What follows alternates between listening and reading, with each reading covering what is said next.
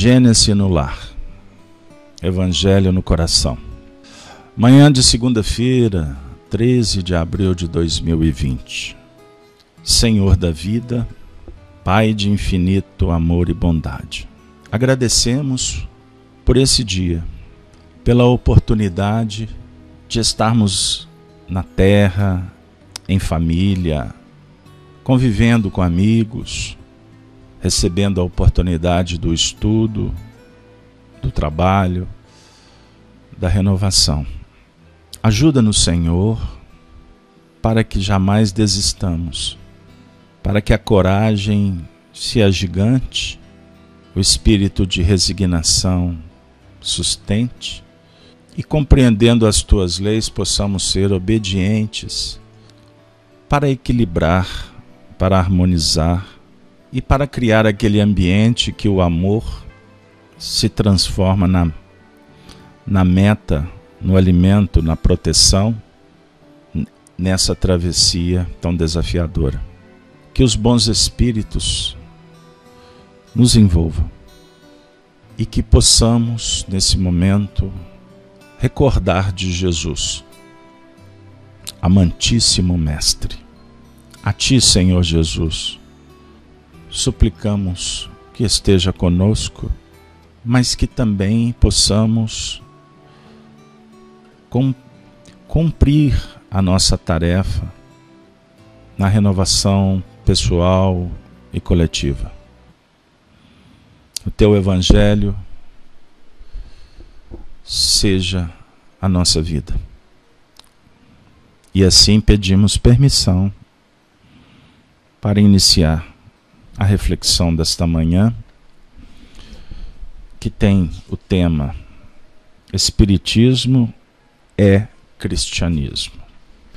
Nós vamos convidar a você que está conosco nessa manhã para juntos abrirmos o Evangelho segundo o Espiritismo no capítulo 25, no tópico nono em diante.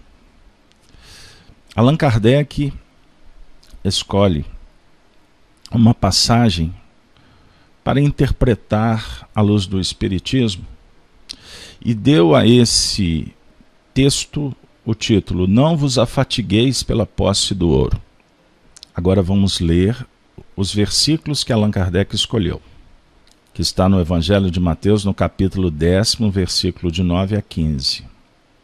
Não vos afatigueis por possuir ouro ou prata, ou qualquer outra moeda em vossos bolsos. Não prepareis saco para a viagem, nem dois fatos, nem calçados, nem cajados, porquanto aquele que trabalha merece sustentado. Ao entrardes em qualquer cidade ou aldeia, procurai saber quem é digno de vos hospedar.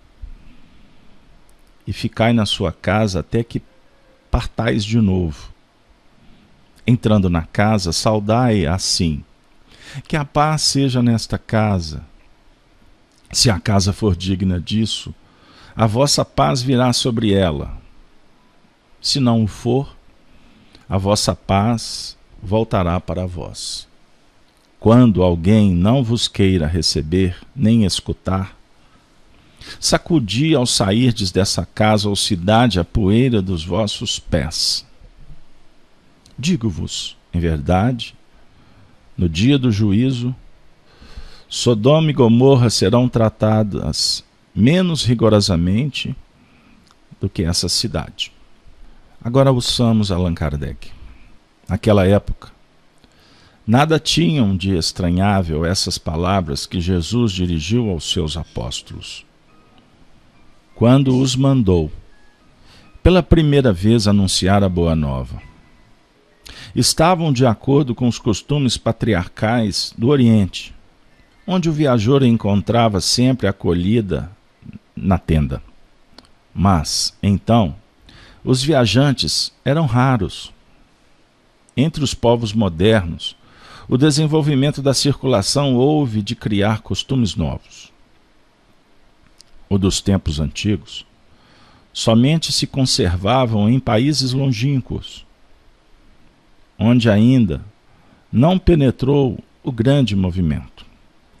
Se Jesus voltasse hoje, já não poderia dizer a seus apóstolos: Ponde-vos a caminho sem provisões. A par do sentido próprio, estas palavras guardam um sentido moral muito profundo. Proferindo-as, ensinava Jesus a seus discípulos que confiassem na providência. Ao demais, eles, nada tendo, não despertariam a cobiça nos que os recebessem. Era um meio de distinguirem dos egoístas os caridosos. Por isso foi que lhes disse: Procurai saber quem é digno de vos hospedar. Ou, quem é bastante humano para agasalhar o viajante, que não tem com o que pagar? Porquanto, estes são dignos de escutar as vossas palavras. Pela caridade deles é que os reconhecereis. Quanto aos que não os quisessem receber, nem ouvir, recomendou ele, porventura, aos apóstolos que os amaldiçoassem, que se lhes impusesse que o, nascem de violência e de constrangimento para os converterem? Não. Mandou pura e simplesmente que se fossem embora à procura de pessoas de boa vontade. O mesmo diz hoje o Espiritismo a seus adeptos. Não violenteis nenhuma consciência. A ninguém forceis para que deixe a sua crença, a fim de adotar a vossa. Não anatemateis os que não pensem como vós. Acolhei os que venham ter convosco, e deixai tranquilos os que vos repelem. Lembrai-vos das palavras do Cristo, outrora.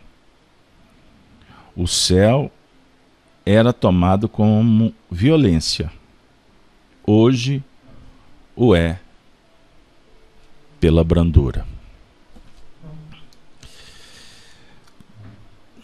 Nessas reflexões da manhã, chega para nós alguns pontos que a gente pode elencar aqui, mais no sentido de direcionar o nosso sentimento para a dimensão do consolo. Temos aprendido com a filosofia que o Evangelho é um diálogo entre o filho e o pai. O pai que se expressa envolvendo com muito carinho e misericórdia a nossa consciência. Aonde está esculpido a lei, a experiência adquirida. Ninguém escreveu essa lei a não ser você. Quando criados, o potencial o germe.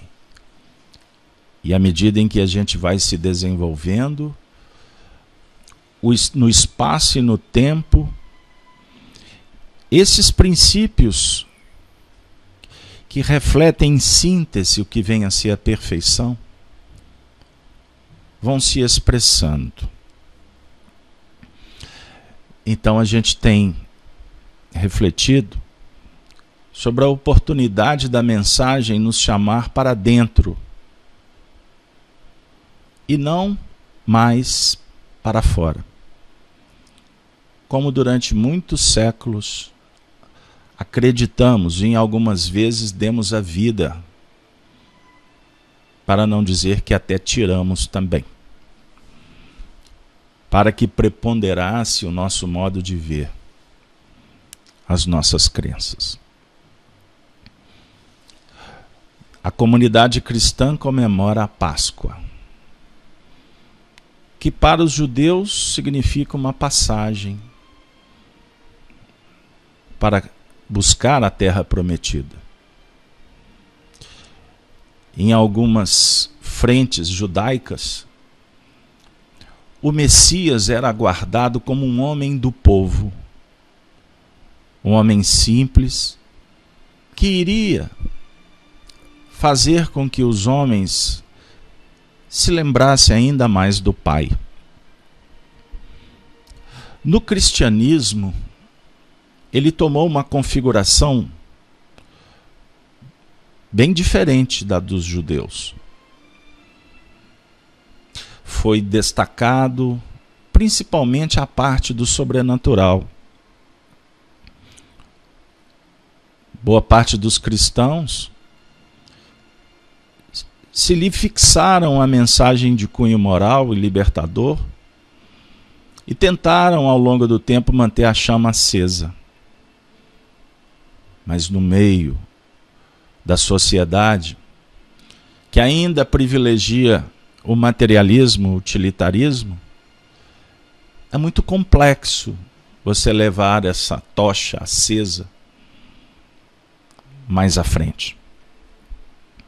Mas bem-aventurado aqueles que o fizeram, mantendo pura a mensagem, que é pautada na igualdade, na liberdade, no desenvolvimento para que o ser adquire, adquira autonomia, responsável, amando o dever e dividindo o pão para todos, pois somos uma família só. Todos precisamos de alimento e oportunidade.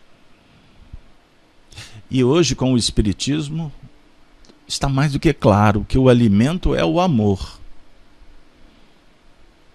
o amor à verdade, o amor à justiça, o amor à ciência,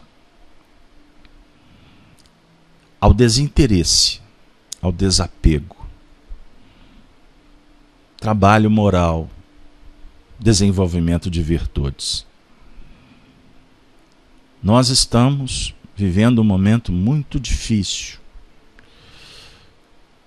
sendo convidados para adentrar num milênio de novas oportunidades, aonde vai imperar a verdade e o alimento espiritual.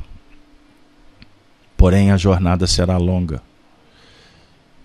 E sob o guante da dor, os homens são chamados de fora para dentro para trazer para fora estes potenciais, estas virtudes que fazem luz no caminho. Em Espiritismo, com Kardec, utilizamos muita palavra expiação. Mas para nós ainda o colorido dela é de sofrimento, é de pagamento, da religião da submissão. Mas nós podemos ressignificar. Porque espiar é tirar de dentro para fora a luz, que é o recurso para modificar as sombras, que são as imperfeições. Transformar as experiências que a gente vai tomando notícia que não foram tão boas agora no recorte histórico. Porque na época, quando vivenciávamos, era o melhor que podíamos fazer. Então agora nós estamos ressignificando e sendo chamados não para condenar, para destruir o que passou. Não. Nós estamos sendo chamados, repito, para rever e aprimorar. Numa visão muito muito especial de Ernesto Bozano, nós vivemos um fenômeno de memória permanente. Nós lidamos com uma bagagem que trazemos. Mesmo que inconsciente, o passado fala, ele dita. Temos como avaliar quando refletimos sobre tendências. Constatamos os limites. Mas esse passado, iluminado pelo Evangelho do Cristo, explorado numa visão kardeciana, ele diz para nós que o futuro a Deus pertence. É verdade, a sabedoria popular. E nós então precisamos de sentir Deus e nos integrar nessa marcha. Conciliando a nossa vontade numa visão kantiana, amando o dever, a responsabilidade, não por uma submissão cega, ortodoxa, não. Amando o dever, porque é o trabalho é que nos dá uma nova visão e a gente passa a ser uma nova pessoa. Renovação a Páscoa fala. O Cristo nos conta da ressurreição. Ressurgir dos mortos. A gente ressurge fazendo luz no passado e observando a dianteira. Semear o bem, sem olhar a quem, sem levar o que não importa. Nós precisamos de deixar no caminho aquilo que não vale mais mas com amor e não com briga. Não. É com bondade. A mensagem do Cristo, ela tocou corações, não, não foi pautada no convencimento, no ponto da intelectualidade. Não. Ele trabalhou com alma e com coração. O cristianismo nos primeiros tempos ele criou as bases a partir da simplicidade e da vivência exatamente do amor silencioso. O idealista pode dizer que Jesus foi revolucionário porque ele, no templo, Jesus propõe uma revolução de ordem moral eu tenho repetido nas últimas semanas que o Emmanuel tem uma frase na introdução do livro Nos Domínios da Mediunidade, que ele diz assim: Jesus não ficou preocupado com organismos, com estruturas, com a política dos homens. Porque ele sabe que muda. Mudança permanente no mundo dual das contradições. Mas Jesus veio dialogar com a alma, que é eterna. Nos tempos atuais, como espíritas, em que estamos saturados de informações, agora com o advento da internet, sem nenhum julgamento mas apenas uma crítica construtiva para o grupo, muitas repetições sem aprofundamento. Agora, muitas lives para todo gosto. E muitas vezes barateando o que é belo, nobre. Não precisamos de informações. Nossa alma anseia por verdades. Precisamos amar silenciosamente, para tocar as almas com as vibrações. O exemplo, a amizade, a constância. E dando à vida o que a vida nos pede. Aonde você estiver, faça o melhor, que você estará fazendo tudo Esse pensamento é de, de Marco Aurélio, maior imperador de Roma. Emmanuel repete esse termo e outros propagam também. Quem faz o que pode, faz tudo. Não se paute em coisas que precisam de ficar pelo caminho. Nós não precisamos de dinheiro. Nós não precisamos de reconhecimento, de aplausos. Nós não precisamos de seguidores. Não. Nós precisamos de se conhecer para se domar e se transformar numa visão platônica. Nós precisamos de entender o mundo das ideias, mas sabendo que quando nós formos colocar na vida prática vai ser deformada, porque somos inábeis.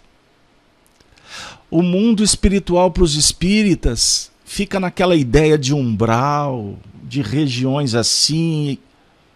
O mundo dos espíritos é mundo moral, como afirmava Emmanuel Kant que Allan Kardec explora para nós com os espíritos, para falar de consequências, de escolhas, como que nós já sabemos disso. Agora é outro momento. Cuidar dos espíritos, sintonizar com os espíritos, relembrar dos seres que se foram, receber mensagens são fatores estimulantes que fazem parte, mas a nossa responsabilidade maior é com a mensagem moral do Cristo para nós mesmos. Sem subterfúgios e sem institucionalizar ou materializar o nosso comportamento. Os tempos são outros. Agora é a hora da família, da vivência, da simplicidade.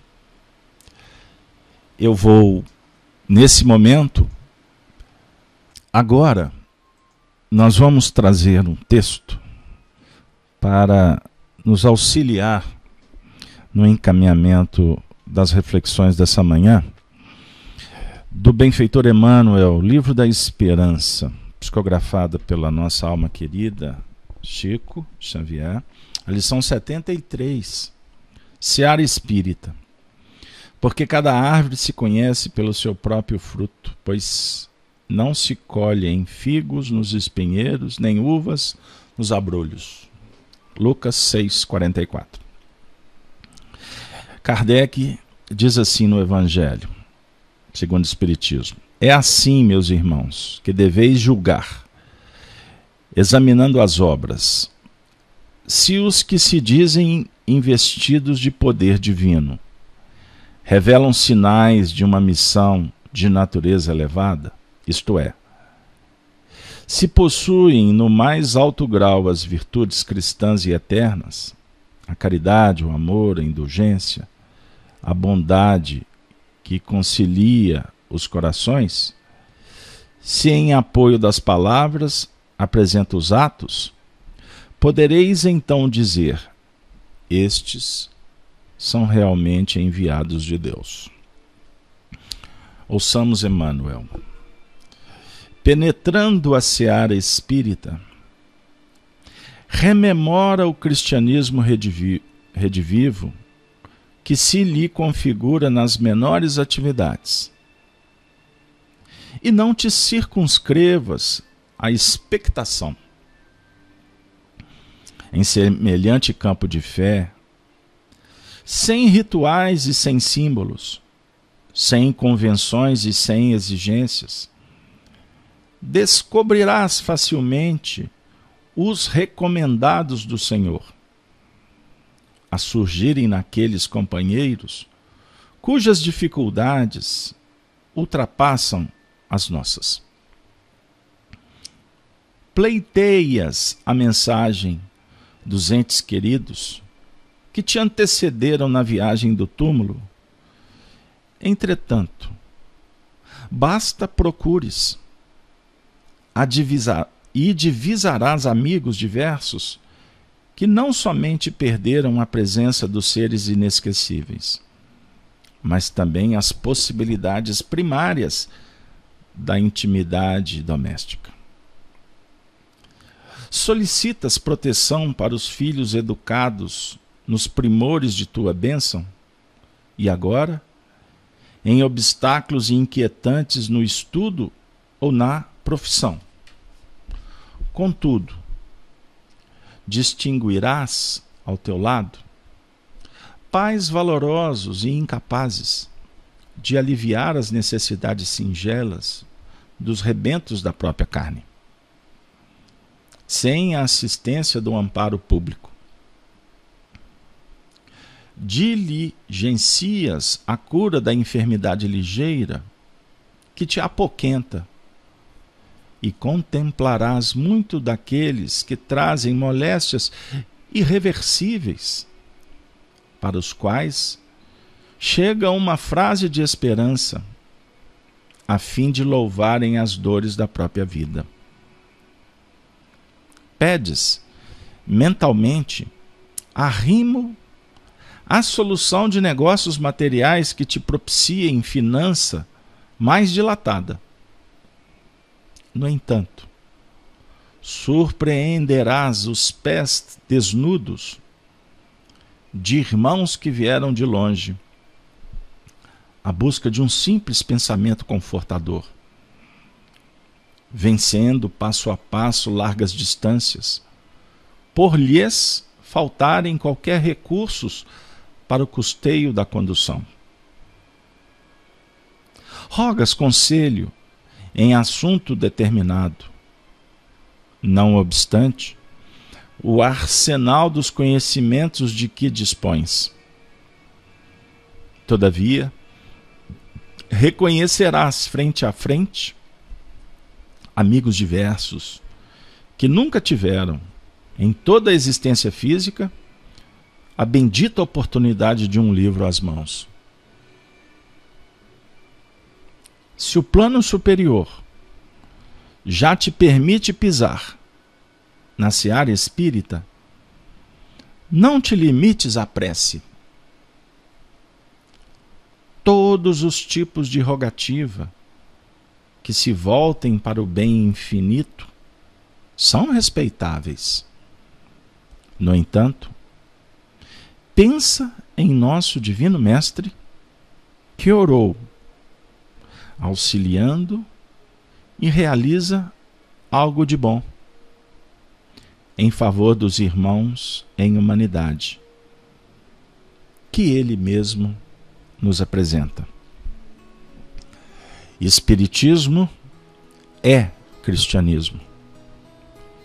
E cristianismo quer dizer Cristo em nós, para estender o reino de Deus e servir em seu nome.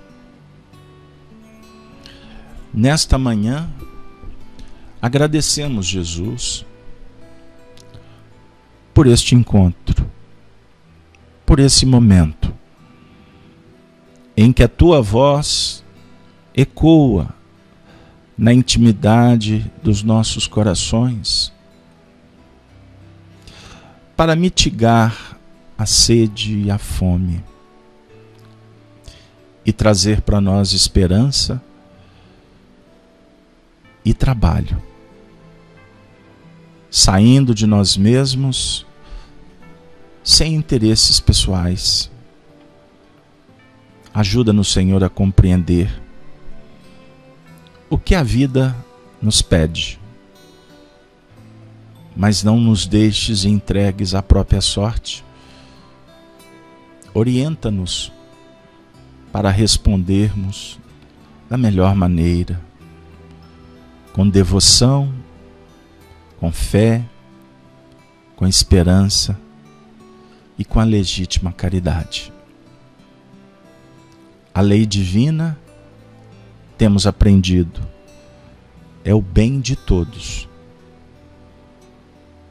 Que possamos, Senhor, integrar nesta causa bendita. Se conosco, querido Jesus, e que os bons espíritos possam levar esta mensagem para tantos que sofrem em humanidade. Que a paz se faça em todo o planeta Terra. Nesse momento de dor, mas ao mesmo tempo nessa nova vida que se abre, para que a tua mensagem se estabeleça em definitivo nos domínios do coração. Ave Cristo, Ave Cristo, Ave Cristo sempre. Uma boa segunda-feira, uma boa semana para todos. Gênese no lar, Evangelho no coração.